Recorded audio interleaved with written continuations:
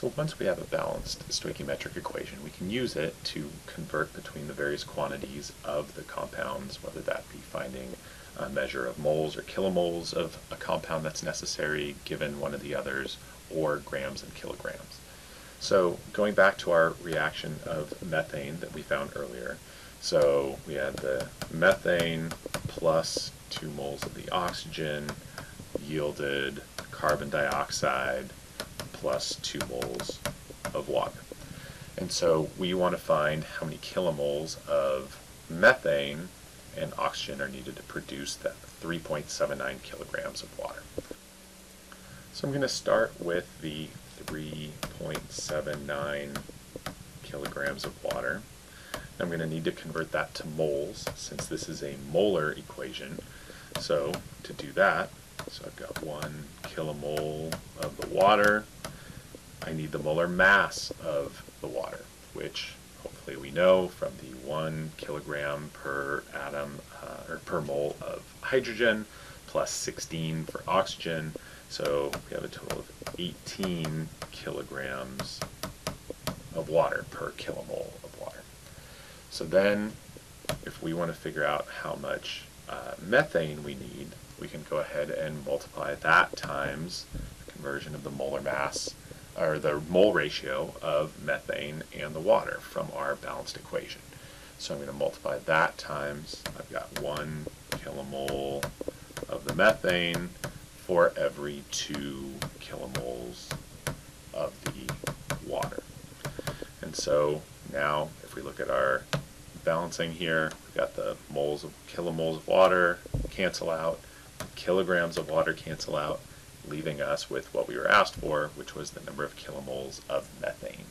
And so if we punch buttons on our calculator, we get 0.105 kilomoles of methane. Now for the second part, where we said we needed to also know how many kilomoles of oxygen are necessary, we're going to start the same way with that same 3.79 kilograms of water. We're going to convert that uh, amount of water into moles, which is what we have here. But now, at this stage, instead of using the conversion factor of one kilomole of uh, methane to the two kilomoles of water, we would have just replaced this with what we see here, two kilomoles of oxygen.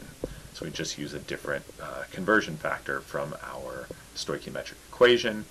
And so in this case, we're basically just going to end up with double the answer. So we're going to end up with 0.211 kilomoles of oxygen. Not exactly double in our final result if we use our proper rounding technique. In our second example, we're going back to the butane combustion, which was 2 moles of the butane plus 13 moles of the oxygen yielded 8 moles of the carbon dioxide plus 10 of the water.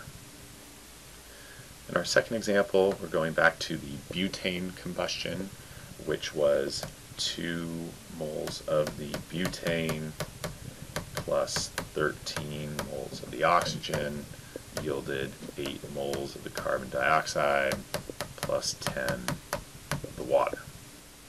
the difference in this case is we're given the number of liters of carbon dioxide we have, and we want to find how many moles of butane and how many moles of oxygen are needed to produce that volume.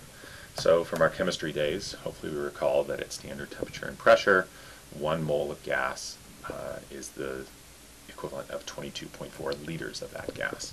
So if we start with the 8 liters of carbon dioxide, I'm going to convert that to moles. So 22.4 moles of CO2 is the equivalent of, or sorry, liters of CO2 is the equivalent of 1 mole of CO2. And now I need to convert that number of moles of CO2 to butane using my stoichiometric equation. So I can see that that's 8 moles of CO2 to 13, or sorry, to 2 moles of the butane, which produces, if we punch push buttons on our calculator, 0.0893 moles of the butane. And similar to what we did last time, we can use kind of the same start here with the carbon dioxide and then the converting the carbon dioxide into moles from the liters, but then use a different conversion factor here. So we've got 13 moles of oxygen to the 8 moles of CO2 instead of the 2 moles of the butane.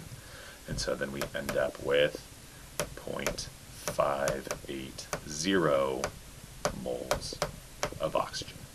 So these are just a couple examples of how we can use a balanced equation to solve for some missing quantities uh, of other compounds.